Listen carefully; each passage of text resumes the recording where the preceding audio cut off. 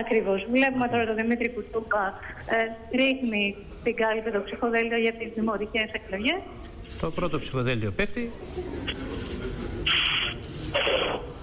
Και θα συνεχιστεί η εκλογική διαδικασία όπως βλέπετε και για τις περιφερειακές εκλογές. Να πούμε εδώ ότι το ΚΚΕ με τα ψηφοδέλτια της Λαϊκής Συσπήρωσης διεκδικεί πέντε δήμους.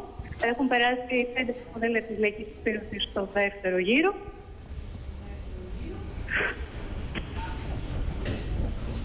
Παρακολουθούμε. Περιμένουμε, Ναι, βεβαίως. περιμένουμε τώρα τον Δημήτρη Κουτσούπα να βγει από το παραβάν, από ό,τι βλέπουμε ετοιμάζεται, για να ψηφίσει και για τις περιφερειακές εκλογές.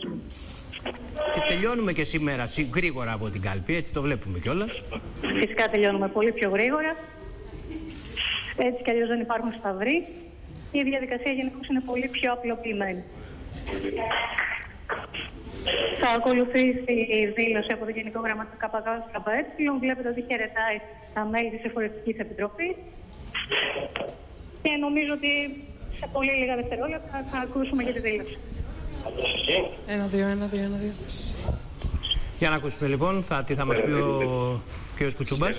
με τη μάχη για να εκλεγούν ξανά οι αγωνιστές δήμαρχοι της Λαϊκής Συσπήρωσης σε Πάτρα, Πετρούπολη και Σαριανή, Χαϊδάρη και Ικαρία και συνεχίζουμε τον αγώνα από αύριο κιόλας για την πιο μεγάλη μάχη των εθνικών εκλογών στις 7 του Ιουλίου για πιο ισχυρό ΚΚΕ.